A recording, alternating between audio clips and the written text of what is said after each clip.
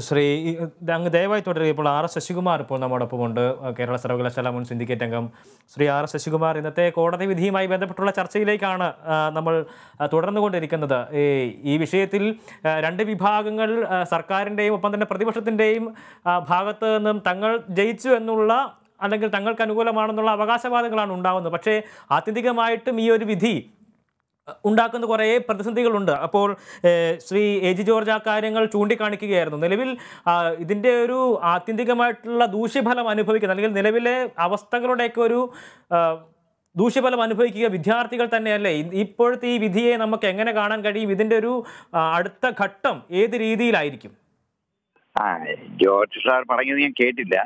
എന്തായാലും സാർ എന്തായിരിക്കും പറയുക എന്നുള്ളതിനെ കുറിച്ച് എനിക്കൊരു ഏകദേശ ധാരണയുണ്ട്.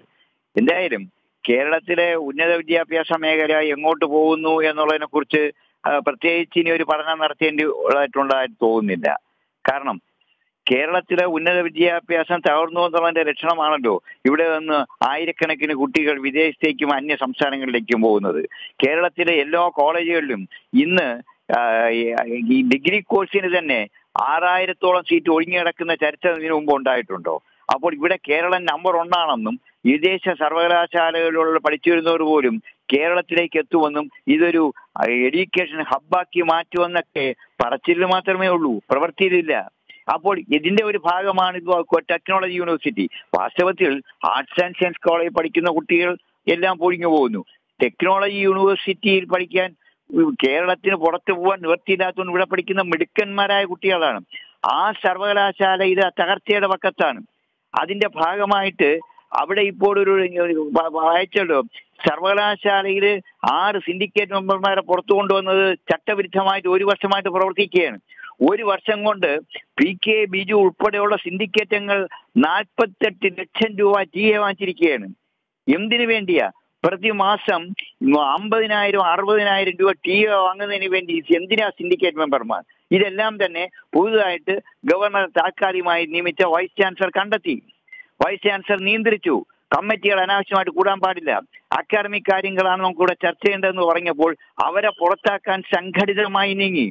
ഇപ്പോൾ എന്താ കേരളത്തിന്റെ ചരിത്രത്തിൽ ഇന്ന് വരെ ഗവർണർക്കെതിരെ ഒരു കേസ് കൊടുക്കുക ഗവർണറുടെ അഭിപ്രായ വ്യത്യാസം എന്താവട്ടെ he the chancellor of the university chancellor ഈ ഒരു നിയമനം നടത്തിയ തെറ്റാണെന്ന് പറഞ്ഞുകൊണ്ട് government higher education department vice ഗവർണറെ പ്രതിയാക്കി ഹൈക്കോടതി കേസ് കൊടുത്ത കേരള ചരിത്രത്തിൽ ആദ്യമായിട്ടാണ്. എന്തിനു വേണ്ടി? കേരളത്തിൽ ഒരു ക്വാളിഫൈഡ് ആയിട്ടുള്ള ഒരു വൈസ് ചാൻസലർ നിയമിച്ചു. അത് അവർക്ക് ഇഷ്ടപ്പെട്ടിട്ടില്ല.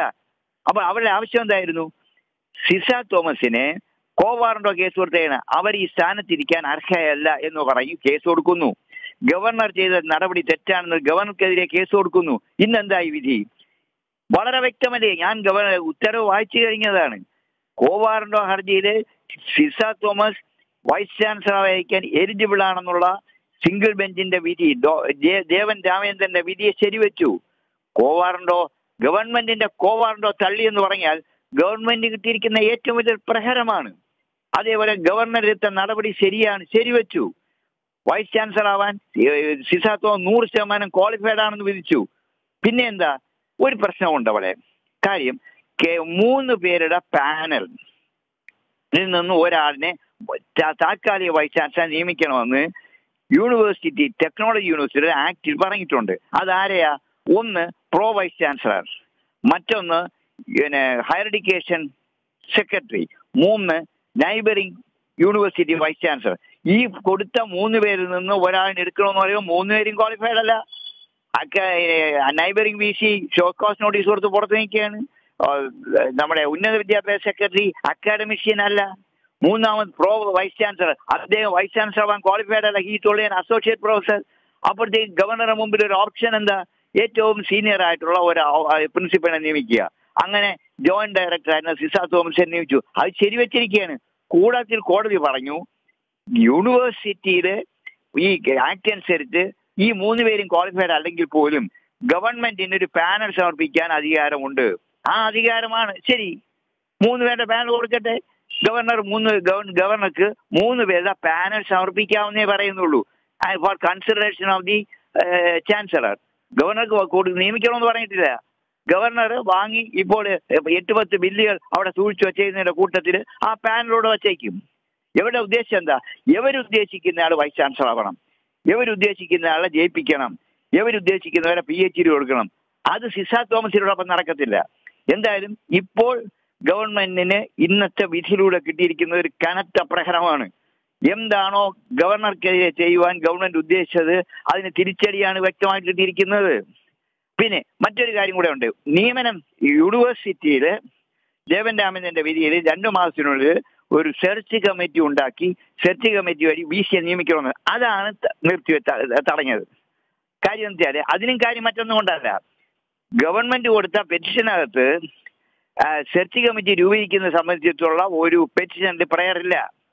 പ്രയർ ഇല്ലാത്ത പ്രയറിനെ കുറിച്ച് സിംഗിൾ ബെഞ്ച് തീരുമാനമെടുക്കേണ്ട ആവശ്യമില്ലായിരുന്നു എന്ന് പറഞ്ഞാണ് അത് റദ്ദാക്കിയത് വരട്ടെ. സെർച്ച് കമ്മിറ്റി വരട്ടെ. ഇപ്പൊ എന്തായാലും ഗവർണർ ഒരു ക്ലാരിഫിക്കേഷന് വേണ്ടി സുപ്രീം കോടതിയിൽ പോയിട്ടുണ്ട്. ഈ കെ ടുവിന്റെ വൈസ് ചാൻസലറുടെ വിധിയോടൊപ്പം തന്നെ പകരം വി സിമാരെ നിയമിക്കുന്നതിനെ സംബന്ധിച്ച് ഒരു ക്ലാരിഫിക്കേഷൻ വേണമെന്ന് ആവശ്യം. അതിന്റെ മറുപടി വന്നു കഴിയുമ്പോൾ തീർച്ചയായിട്ടും കെ ടുയിൽ ഒരു സെറ്റ് കമ്മിറ്റി ഉണ്ടാവും. അതിലൂടെ മിടുക്കനോ മിടുക്കിയായ ഒരാളിനെ കെ ടുവിൽ വി സി ആയിട്ട് നിയമിക്കാൻ ഗവർണർ തയ്യാറാവും എന്നുള്ള പ്രതീക്ഷയാണുള്ളത്. തീർച്ചയായിട്ടും അങ്ങനെ ഉണ്ടാകട്ടെ എന്നുള്ള ഒരു പ്രതീക്ഷയാണ് ഞങ്ങൾക്കുള്ളത്. അങ്ങനെ ഒരു നിയമനം ഉണ്ടായാലും സിസാസ് തോമസ് തന്നെ ആയിരിക്കുമോ അത് നമുക്ക് പറയാൻ നോക്കും. സിസ തോമസിനെ പോലെ സിസ തോമസിനെ പോലെ ക്വാളിഫൈഡ് ആയിട്ട് ഒരാളിനെ തീർച്ചയായിട്ടും ഗവർണർ അങ്ങനെയുള്ള പ്രത്യേകിച്ച് താല്പര്യങ്ങളൊന്നും അദ്ദേഹം കാണിക്കുന്നില്ല എന്നുള്ള കാര്യം പൂ- ഞങ്ങൾക്ക് ഇപ്പൊ- ഞങ്ങൾക്ക് പൂർണ ബോധ്യമുണ്ട്. അദ്ദേഹം ഇവിടെ ഇരുന്ന സമയത്ത് അദ്ദേഹത്തെ ആർ എസ് എസ് ആണ് അദ്ദേഹം ബി ജെ പി ആണ് എന്നൊക്കെ പറയുമെങ്കിലും അദ്ദേഹം ഇവിടെ വന്നതിന് ശേഷം ഇന്ന് വരെ ഒരു ബി ജെ പിക്കാരനെ ആർ എസ് കാരനെ നിയമിച്ച് കണ്ടില്ല. നിയമിക്കണമെന്നുണ്ടായിരുന്നു കഴിഞ്ഞ കാലിക്കറ്റ് യൂണിവേഴ്സിറ്റിയുടെ പാനലിൽ വ്യക്തമായി വന്നതാണ്.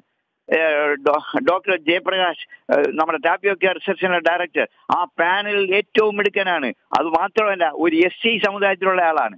അദ്ദേഹത്തെ നിയമിക്കാതെ തന്നെ അദ്ദേഹം അറിയപ്പെടുന്ന ഒരു ആർ എസ് കാരനാണെന്നുള്ളതാണ്. അപ്പൊ തീർച്ചയായിട്ടും ഗവർണർ ആ തരത്തിൽ ഞാൻ നിയമിക്കുമെന്ന് പ്രതീക്ഷിക്കുന്നില്ല. എന്തായാലും സെർച്ച് കമ്മിറ്റി രൂപീകരിച്ച് ഒരു നല്ലൊരു വൈസ് ചാൻസലറെ വരാൻ പോകുന്ന നാളുകളിൽ കെ ടി യു നിയമിക്കുമെന്നുള്ള പ്രതീക്ഷയാണുള്ളത്. എന്തായാലും ശരി ഇന്ന് മറ്റൊരു കാര്യം കൂടെ ഉണ്ടായി. കഴിഞ്ഞ രണ്ടു മാസമായി പുറത്തുപോയ pro vice chancellor Ayub doctor Ayub T K M കോളേജിലെ പ്രിൻസിപ്പൽ ആയിരുന്നു. അത് റിട്ടയർ ചെയ്തുവെങ്കിലും പി വി സി എന്ന നിലയിൽ കണ്ടിന്യൂ ചെയ്തു അദ്ദേഹത്തിന്റെ post co terminus along with the post of vice chancellor ആണ്. രണ്ടു മാസമായി പോയാൽ ഇന്ന് കയറി വന്നിരിക്കുന്നത്. കാരണം ഗവൺമെന്റിന്റെ പ്രേരണത്തുണ്ടായിരുന്നു ഷിസാ തോമസിനെ മാറ്റിയിട്ട് പ്രോ വൈസ് ചാൻസലർ ചാർജ് കൊടുക്കണമെന്ന്.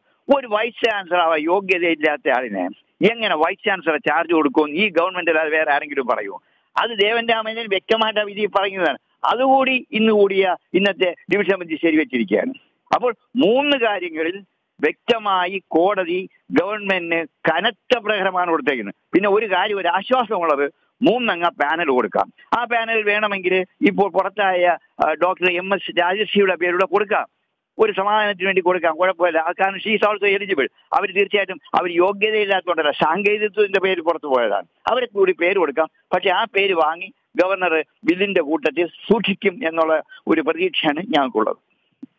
തീർച്ചയായും ശ്രീ ആർ എസ് ശശികുമാർ വളരെ നന്ദിയുണ്ട് ഈ ഒരു ഘട്ടത്തിൽ പ്രതി പ്രതികരിച്ചത് ശ്രീ എ ജി ജോർജ് അദ്ദേഹം പറയുന്നത് വളരെ വേഗം തന്നെ ഇത്തരത്തിലൊരു ഈ പ്രശ്നങ്ങൾക്കെല്ലാം ഒരു ശാശ്വത പരിഹാരമാകുമെന്ന് ശുഭാപ്തി വിശ്വാസം അദ്ദേഹം പങ്കുവയ്ക്കുന്നുണ്ട് ഒപ്പം തന്നെ അദ്ദേഹം പറഞ്ഞ കാര്യങ്ങൾ അങ്ങ് കേട്ടിട്ടുണ്ടല്ലോ.